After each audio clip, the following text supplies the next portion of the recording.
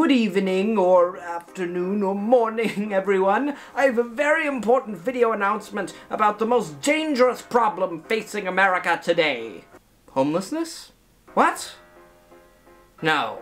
Rising poverty and wealth concentration into the upper rungs of American society? Of course not! Spending nearly a trillion dollars on the military industrial complex and propagating wars abroad? No. The answer, boy, is marijuana. Marijuana is the most dangerous drug facing America today, which is why the government schedules it and classifies it as identical to heroin and worse than meth. Wait, so where does our government classify alcohol? Shush, you! Marijuana is, of course, the greatest threat of our day. It could be coming for you. Or you. Or you. Or, you know, Probably not, but we'll get to that. What's up everybody? My name is Patrick, but my friends call me Pat. Welcome back to another video. Slightly green this time due to our subject material, obviously. Thank you all so much for your love on the last video. I really appreciated it. Stuff like that helps keep me motivated to keep going in this dog-eat-dog world of fighting the YouTube algorithm and everything else that's going on. So today I wanted to cover something else that I saw in the news going very viral on Twitter was this tweet that is, well, fairly alarming if what he says is accurate. Cannabis is a silent epidemic wreaking havoc on the American family. Well, don't worry, Justin Murphy, Catholic Twitter influencer. I am very committed to the American family. I intend on marrying a woman, taking a wife, making her do all the cleaning, and having lots and lots of American nuclear family babies. Gay! If there's one thing I won't let happen, it's seeing the American family unit being attacked or modified in any way! He describes drinking the beverage pictured there, a beverage called Recess, which is a seltzer, which we'll talk about a little bit more in just a couple seconds, and then falling asleep at 9 p.m. on a Saturday night before waking up at the horror 10 a.m. What a degenerate bum getting up that that late. The real tragedy is that he missed Catholic Mass, he overslept, and you know God was watching. Gotta answer to that at the pearly gates. Hey, remember that one time you had those seltzers, bro? And I just want to clarify that in the traditional sense, these seltzers have no alcohol. So we're talking about cannabis. What, what's the deal here? So what did Recess do? Did they take one of Snoop Dogg's big kahuna joints? And he hands me one of these big kahuna blast you to the Milky Way joints, you know? Melt it down, swirl it around, and put it in a sleek looking can? No. Fortunately, Snoop Dogg's temporary announcement that he was quitting weed was just an advertisement for a smoking pit, and that smoking pit and this can have precisely the same amount of THC in them, that is to say zero, because one is a CBD seltzer and one is a inanimate object. CBD is different from weed. Consider it like the Diet Coke of weed, but if you're the type of person who thinks Diet Coke is too strong, so you take a bottle of Diet Coke, pour 90% of it out, and fill the rest with water, then you have CBD. To its credit, CBD actually has been shown in some cases to be effective at treating certain illnesses or conditions, not super regulated by the FDA, this is all in its early stages, unlike Diet Coke, which is making you thin at the expense of giving you eventual stomach cancer. So the seltzers that this guy had if you go and you look at their website, they actually had 12 milligrams of CBD, which compared to the dosing recommendations that I put on screen for certain illnesses is comically low. This guy had almost nothing and he's still slumped, slept for 13 hours, and is now complaining on Twitter like an idiot. And some studies actually say, because CBD is a part of traditional marijuana, but THC is doing most of the psychoactive effects, some studies actually suggest the more CBD you have, the more mellow you will feel, and the less you'll actually feel the effects of weed. So this guy's complaining that this thing that literally negates weed is somehow ruining his life. It's moronic. The real crime, in my opinion, is that this website is charging $5 for a can of basically pretend water. But hey, maybe I can fill out their form to be an influencer after I've made fun of their brand. But okay. Maybe this guy who's too stupid to look at the ingredients section of the thing he's actually drinking, see 10 milligram hemp extract, and maybe ask a question or two if that's something you object to, maybe this guy is right. Maybe cannabis is a silent epidemic. So does he have a point?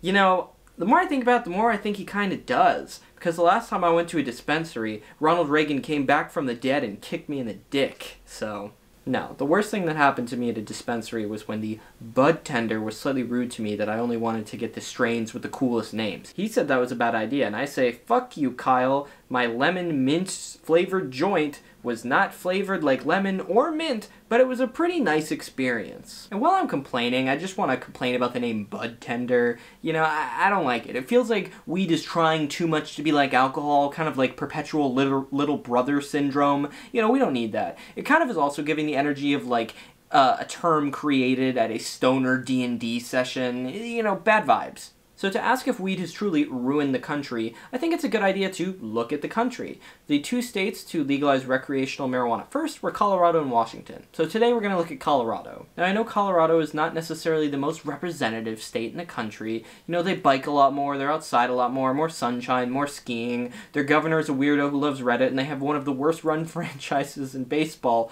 But still, it's been over a decade, lessons to be learned. Let's get into it. So before we get into Colorado specifically, a little bit about weed. People have some complaints with weed, but weed has done both positive and negative things. It's a complex thing.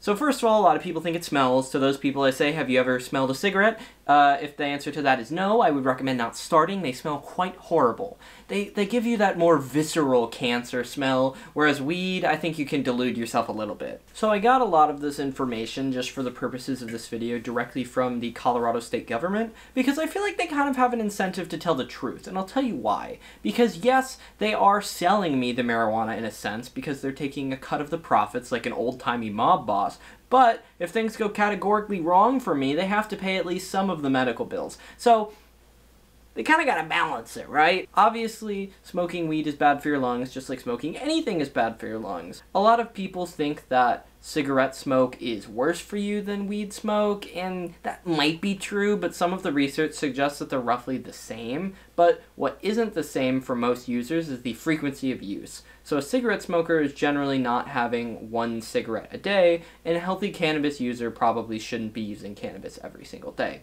So increased frequency is going to lead to worse outcomes, because we forget our lungs are meant to filter out certain things. The world is kind of dirty.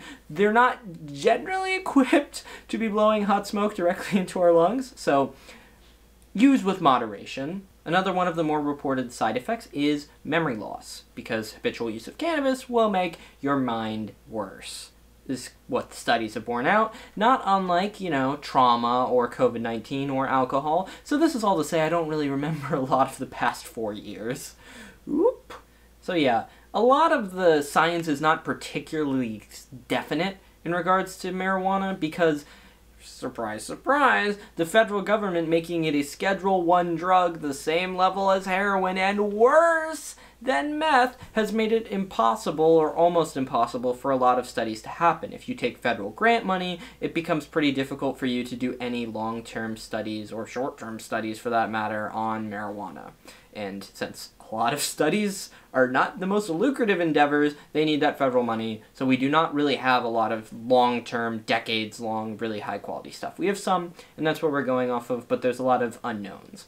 But like most things, we best to moderate if you can know, a lot of things in life are personal choice. And that was really the whole point of Colorado legalizing marijuana. The same way you can choose to go and eat an entire pack of Oreos or drink an entire six pack of Bud Light. You know, Bud Light is basically just water but worse. That Bud Light just ain't right. Yep, we're bringing that culture war back. God, that was so stupid. We really had an entire, like, six months where conservative America refused to drink a certain type of beer, which is not even really that good, just because they sponsored like a TikTok.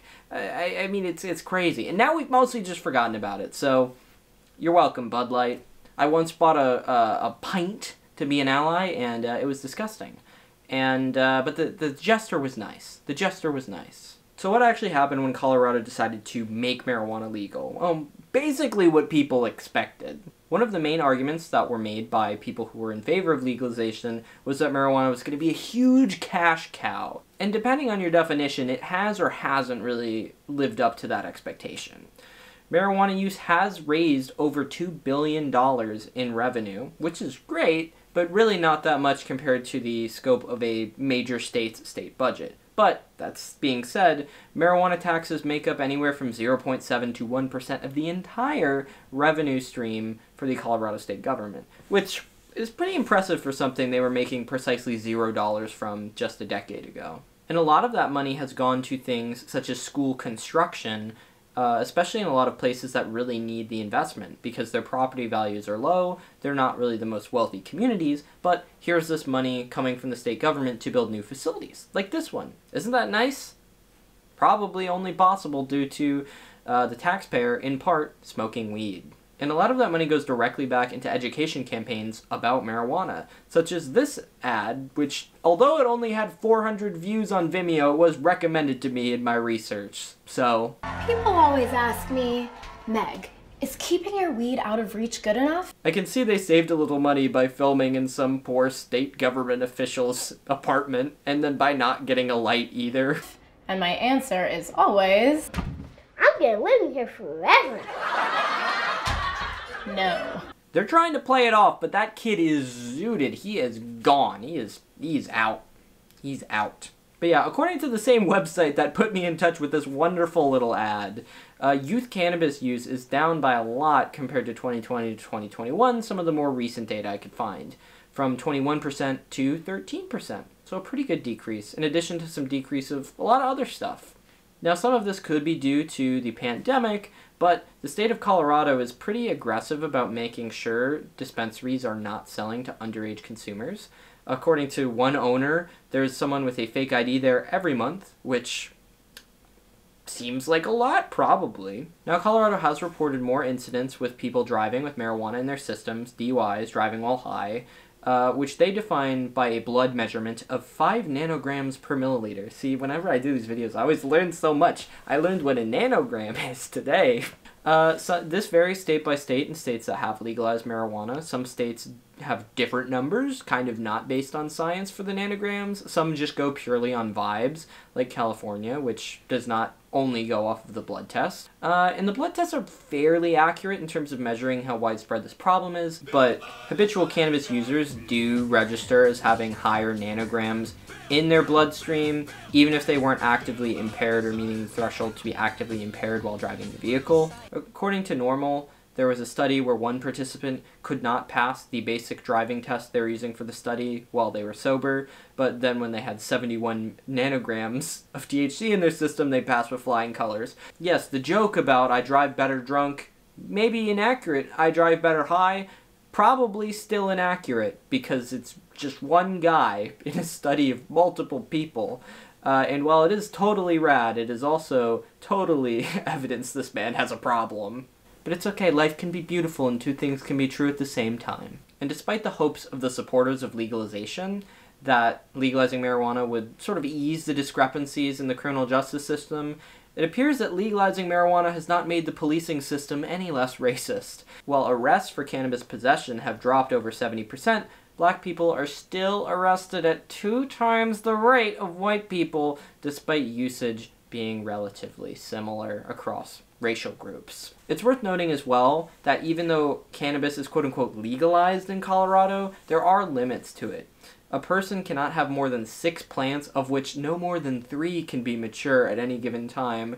And additionally, you cannot possess more than two ounces of marijuana. Any more than this, and you risk getting into an arrest for cannabis possession, even though it's quote unquote legal. This whole situation reminds me of how alcohol was treated for people over the age of 21 in my college dorm. You could have one bottle of liquor or a six pack, any more than that, and you were breaking the rules. And are two ounces of marijuana and one bottle of vodka different? Yes. Did anyone ever really check my dorm room fridge? No. Am I still mad about it? Also, yes. But speaking of alcohol, I do appreciate that it provides another option of having something to, you know, relax and unwind with, particularly in a social context, as opposed to just alcohol. Some people are even going California sober, meaning they're not having alcohol anymore and only smoking weed, which is a little bit of a cope, to be honest with you. But hey, what's life for if not for relishing and appreciating the little things we think we do for our health? But in reality are not really making us that much healthier. A lot like drinking Diet Coke. But honestly, much more impressively than that is there are some preliminary studies out there suggesting that marijuana use may actually decrease the use of other harder drugs. One study found that in counties where a new dispensary opened, opiate deaths dropped by 17% for the first one and then 21% for the second. So That could be huge in a lot of areas that have really been heavily impacted by the opioid crisis and are actually kind of the ones most resistant to marijuana legalization in a lot of cases, but I have faith that they'll get there. It's good, though, that America seems to have finally found the least bad drug, and also one that seems to make music sound better. So, win win. So, coming back to our original question is there a silent epidemic of cannabis in this country? No. And it baffles my mind that in 2024 there are idiots out there who are still talking like they're in a 1930s propaganda film. Weed, like sex, sugar, and alcohol, can cause problems for your life if you're using it too much and you're not using it in moderation. I tried to eat mozzarella sticks every day and it did not work for me. I gained a lot of weight. So I will not be I will not be doing that again. But I'm grateful that the government gave me the ability to go out and eat an ungodly amount of mozzarella sticks. Uh, and it would it would not have cared if I would gained 300 pounds. They they still would have let me keep shoving that garbage into my gullet. And to be honest with you, I don't really think anybody should be taking advice, least of all the government, from someone who drinks two seltzers without alcohol in them and then goes to bed at 9 p.m. on a Saturday night. But that's going to do it for this video, guys. Thank you so much for watching. Please leave a like if you enjoyed. Helps get this video out to more people. And comment if you agree with me or if you disagree with me. We'll banter. Or I can just reinforce your opinions and you can reinforce mine. It'll be all cute. Uh, and please subscribe. I upload these videos every week. Cover the news. Cover comedy. Have a fun time together. Love growing this channel. And love making content for you guys. So, heart. See you guys in the next one. A.